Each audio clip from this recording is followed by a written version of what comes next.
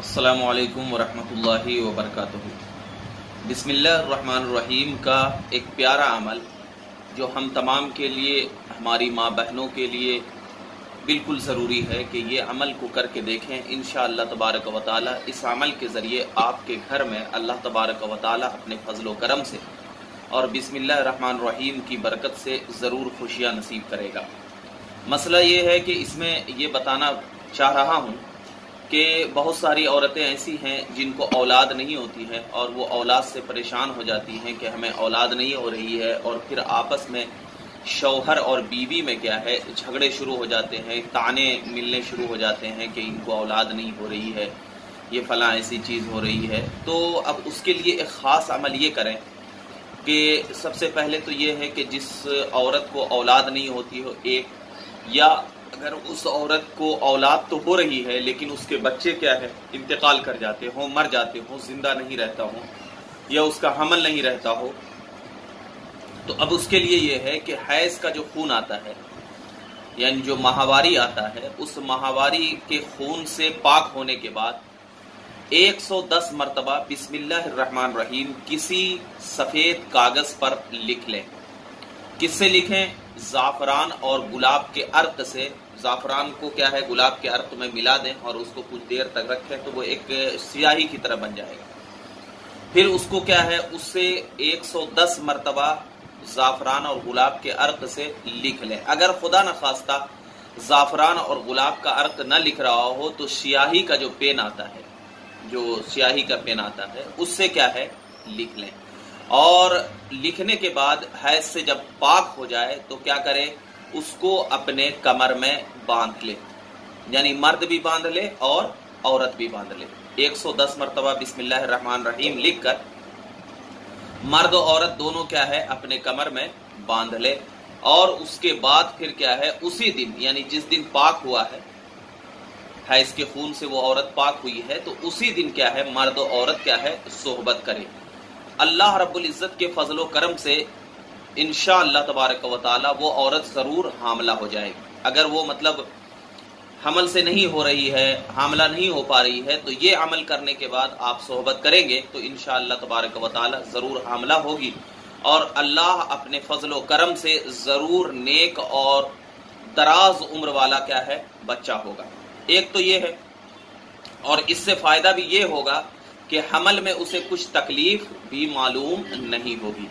اس کے بعد کیا کرے کہ پھر وہ دو مہینہ یعنی جب وہ حاملہ ہو جائے گی، تو اس کے بعد دو مہینے کے بعد اس تعویذ کو کھول کر رکھ دے۔ اس تعویذ کو کھول کر کیا کر دے؟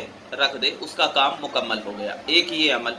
دوسری چیز یہ ہے کہ اور جس کی اولاد کیا ہے، جیتی نہ ہو یعنی انتقال کر جاتی ہو، مر جاتی ہو، تو اب وہ کرے اکسٹھ مرتبہ یعنی سکسٹی ون ٹائمز۔ اکسٹھ مرتبہ لکھ کر کے کیا ہے؟ اپنے پاس رکھے وہ عورت۔ تو انشاءاللہ تبارک و تعالی، اگر وہ اپنے پاس رکھے گی تو اس کی اولاد جو ہے وہ بالکل زندہ رہے گی۔ یعنی اس کی اولاد کیا ہے؟ انتقال نہیں کرے گی۔ اور یہ جو ہے نا، بالکل تجربہ کیا ہوا عمل ہے۔ یہ بالکل واقع ایسا تجربہ ہے کہ بہت سارے لوگوں پر آزمایا گیا ہے اور اللہ تبارک و تعالی کے فضل و کرم سے اس میں کیا ہے؟ بہت سارے فوائد بھی ملے ہیں۔ ایک، تیسری چیز اس عمل کا یہ ہے کہ اگر کوئی شخص ایک سو ایک مرتبہ لکھ کر کسی کھیت میں دفن کر دے گا یعنی اس عمل کو اگر کسی کا کھیت کم ہو رہا ہو، تو اگر کھیت میں دفن کر دے گا تو اللہ اپنے فضل و کرم سے اس کی کھیتی میں کیا ہے؟ خوب برکتیں عطا فرمائے گا۔ یعنی اس کی کھیتی خوب پھلے گی، پھولے گی۔ اور تمام آفتوں سے کیا رہے گی؟ اس کی کھیتی محفوظ رہے گی۔ اور ایک اس میں فائدہ یہ ہے کہ اگر کوئی شخص ستر مرتبہ لکھ کر مردے کی کفن میں ڈال دے گا، تو منکر نکیر کے سوالوں کی تکلیف سے وہ مردہ کیا ہے؟ محفوظ رہے گا۔ اور قیامت کے دن اس کے لیے اللہ تبارک و تعالی ایک نور کا، نور سے اس کو کیا کر دے گا؟ منور کر دے گا۔ اور اگر کوئی شخص کیا ہے شکار کرنے کے لیے جا رہا ہے، مچھلی وغیرہ کا شکار کرنے کے لیے، تو وہ شخص ستر مرتبہ لکھ کر بسم اللہ الرحمن رحیم کیا ہے، اپنے پاس رکھ لے، تو انشاءاللہ تبارک و تعالی بہت زیادہ شکار کرے گا۔ ایک چیز اگر کوئی شخص ایک مرتبہ لکھ کر اپنی انگوٹھی میں کیا کر دے، پہن لے، کندھا کرا لے، بسم اللہ الرحمن رحیم اندر کیا ہے، انگوٹھی میں کندھا کرا لے، تو اگر کسی شخص کو زہریلے جانور نے کاٹ لیا ہو، جیسے کہ سانپ، بچھو وغیرہ، کیا ہے، یہ زہریلے جانور ہیں، اگر کاٹ لیا ہو تو اس انگوٹھی کو دھو کر کے اگر اس زہریلے کاٹے ہوئے جانور والے شخص کو پلائے گا تو انشاءاللہ تبارک و تعالی اس کا زہریلا اثر بھی کیا ہو جائے گا، ختم ہو جائے گا۔ مگر اس کا لکھنے کا ایک تو طریقہ یہ ہے کہ آپ ملا ملا کر لکھیں۔ لیکن زیادہ فائدہ یہ ہوگا کہ بسم اللہ الرحمن الرحیم میں جتنے حرف ہیں نا، سب کو، سب حرف کو الگ الگ لکھیں۔ جیسے بسم اللہ الرحمن الرحیم میں با ہے، تو با پہلے لکھ لیں۔ اس کے بعد کیا ہے؟ سین ہے سین ہے۔ یعنی سب کو کیا ہے؟ الگ الگ لکھیں، تو یہ زیادہ فائدہ مند ہے۔ لیکن اگر کوئی شخص کیا ہے، یہ الگ الگ نہیں لکھ پا رہا ہے، تو اس کو کیا ہے؟ ایک ساتھ بھی لکھ سکتے ہیں۔ اس میں کوئی حرج کی بات نہیں ہے۔ تو اس میں کیا ہے؟ بہت سارے فائدے ہیں۔ جو کہ آپ انشاءاللہ تبارک و تعالی اس کا عمل کریں۔